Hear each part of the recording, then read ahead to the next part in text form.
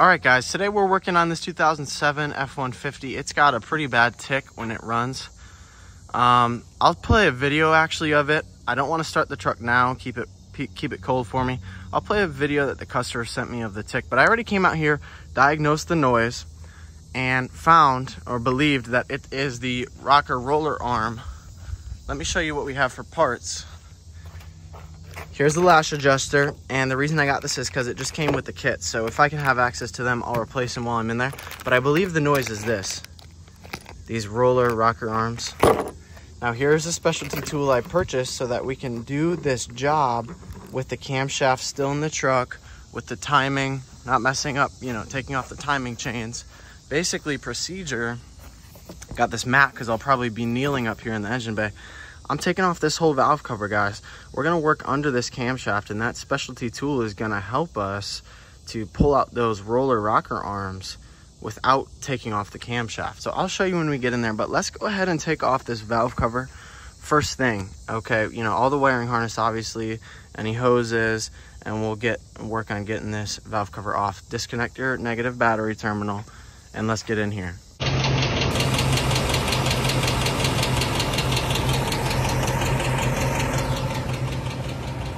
All right, guys, so you're gonna wanna take out all the electrical stuff and just move all the connectors out the way best you can.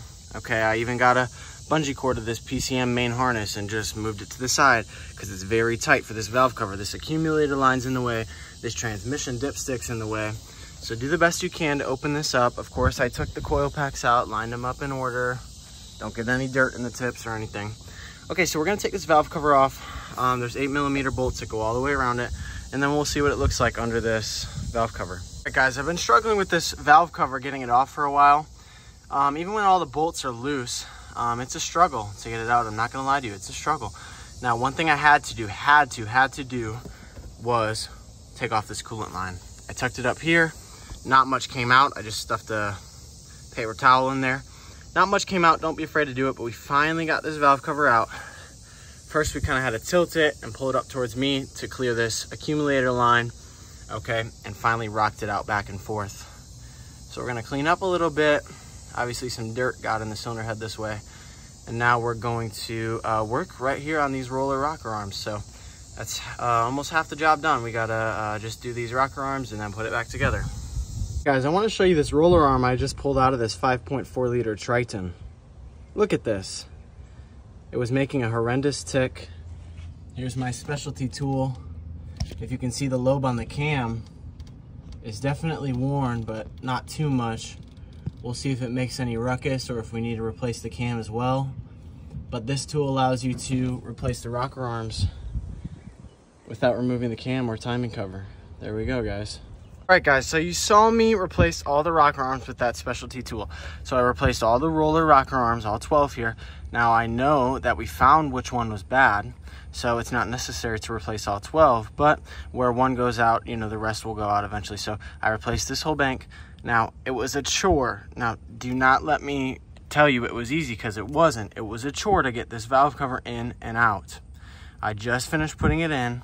Now it helps to pull these back bolts out okay, because the back bolts get hung out. So pull them out, the back three or four, and rock it in. So you kind of go in at an angle like this and keep it upright and rock it back and forth. Move things out of the way as you get back there. You'll feel it drop onto the back and then you can lay it flat with the mating surface and it drops. So now we got it in, tighten down all the bolts, put the coils on all the electrical connectors, plug everything back in, evap hoses, everything, coolant hose, and we'll be ready to fire this thing up. So that's kind of how the process went to replace these rocker roller arms. It's really cool that you don't have to take the camshaft off. That is brilliant. Um, you don't have to mess with the timing or anything. Now there is one thing, I was not able to get the lash adjusters out. Okay, you cannot get the lash adjusters out without removing the cam. You pull it up halfway and it hits the cam lobe, even if the lobe is at base circle, you know, on the valve. So that's one thing. Um, you can only do this with the roller arms, not the lash adjusters lifters. Okay, so let's get this um, all wrapped up back together and uh, we'll fire it up and see, see that that noise is all gone. All right, guys, first start on this truck. Started right up. You don't hear any more ticking.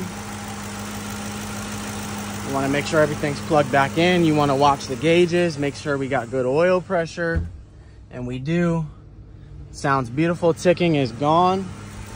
Keep letting it idle, do its thing, but there you go, guys. You heard the before, you heard the after. It was that roller follower. Thanks for watching.